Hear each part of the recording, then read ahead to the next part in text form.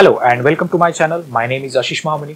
Today we are going to discuss about post-quantum cryptography threats and algorithms to fight those threats. At the end of the video, we are going to look at the code and libraries which implement those algorithms in Java. But at first, we would like to know what are quantum computers and why one need to know and need to worry about them now. Quantum computers are type of computing device that use principles of quantum mechanics to perform certain type of calculations much faster than classical computers. Key capabilities and features of quantum computers include superposition. Qubit can represent multiple states at the same time. Classical, classical bits in uh, today's computer can be one of the two states, 0 or 1, while qubits can exist in combination of 0 and 1 known as super, superposition. This allows quantum computers to perform many calculations in parallel.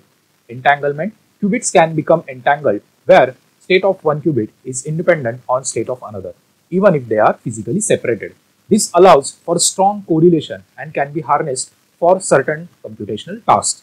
Quantum parallelism. Quantum algorithms can take advantage of superposition and perform certain tasks exponentially faster than classical algorithms. Shor's algorithm for integer factorization and Grover's algorithm for unstructured search are examples of problems where com quantum computers show significant speedup. Modern cryptography uses around 313 digit prime number. That's very huge. Factoring such big prime even on today's supercomputer would take around 16 million years, but not on quantum computers. Shor's algorithm is a quantum algorithm for finding the prime factors of an integer. On quantum computer, to factor an integer n, Shor's, uh, Shor's algorithm would take poly polynomial time log n, the size of integer for a given input. The Shor's algorithm could be used to break policy public key cryptography scheme, which are uh, fundamental to modern cryptography such as RSA scheme, finite field Diffie-Hellman key exchange, elliptical curve Diffie-Hellman key exchange. Shor's algorithm was developed in 1994 Wait, this, this algorithm is known for so many years, but why it matters the most now? So first of all, if you have heard about Harvest Now Decrypt Later, which, which is known as Store Now Decrypt Later or retrospective decryption, is a surveillance strategy that relies on acquisition and long-term storage of currently unreadable unencrypted encrypted data, awaiting possible breakthroughs in decryption technology that would render it readable in future. This is very dangerous. The most common concern is the prospect of developments in quantum cryptography which would allow current strong encryption algorithms to be broken at some time in the future, making it impossible to decrypt any stored material that had been encrypted using those algorithms. Second point is, in 2022, Physics Nobel was announced to John Clauser and his team.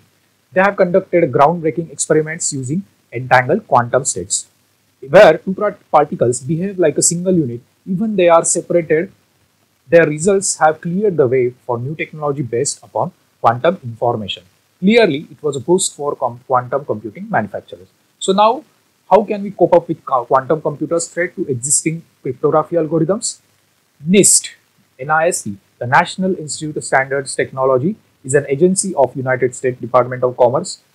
They they have they are start standardizing this post-quantum cryptography algorithm, they conducted a competition and in, um, from, from, that, from, the, from that competition, we have Crystal's Kyber algorithm.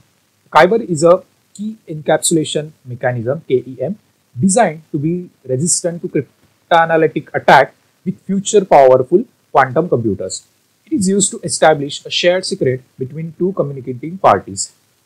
This asymmetric crypto system uses a variant of the learning with error lattice problem as its basic trapdoor function.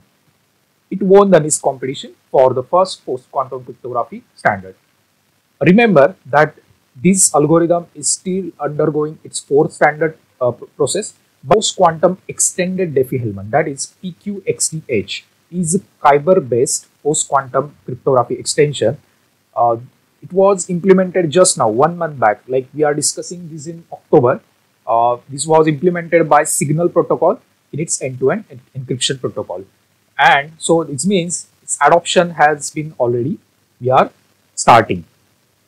Okay, so now we are going to see. So in September 2003, the developers of Signal Protocol announced that it is being updated to support PQXDH, that is post-quantum extended Diffie-Hellman. So now we are going to look at uh, its implementation. Uh, so uh, you can see on my screen, yeah, this is Kyber JB, JC project, Crystal Kyber Java. Here, uh, if you have already used any Diffie-Hellman uh, algorithm previously, it, it works very similar way. For a developer, we don't have to worry about its implementation. You have to pass Kyber 1024 specification. Kyber 1024 provides NIST security level 5 that is equivalent of AES 256. Latest release when this video was recorded, version 3.000 release was released on 15th of August. There is a beta version of Bounty Castle also available. You can see this code, all credit goes to Stack Overflow. I'm going to share this code via GitHub so that everyone could try it out. Version I'm using uh, of Bounty Castle library is 1.76.